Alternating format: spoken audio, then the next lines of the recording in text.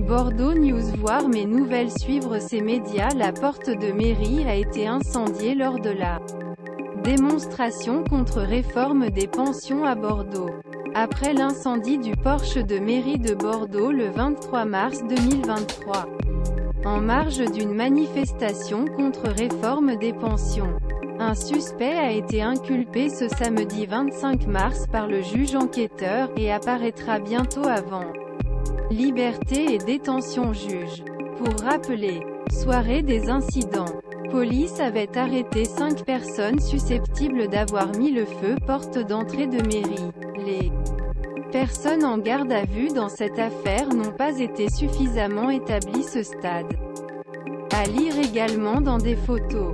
Les moments forts de l'événement du 23 mars à Bordeaux pour ces quatre individus, dont un mineur, n'a été conservé que les faits de participation à une foule armée et avec le visage partiellement ou complètement dissimulé.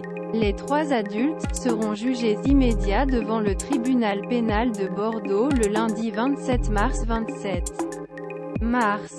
L'incendiaire présumé fait face à 10 ans d'emprisonnement en ce qui concerne le mineur. Il sera jugé par un tribunal pour enfants le 11 mai.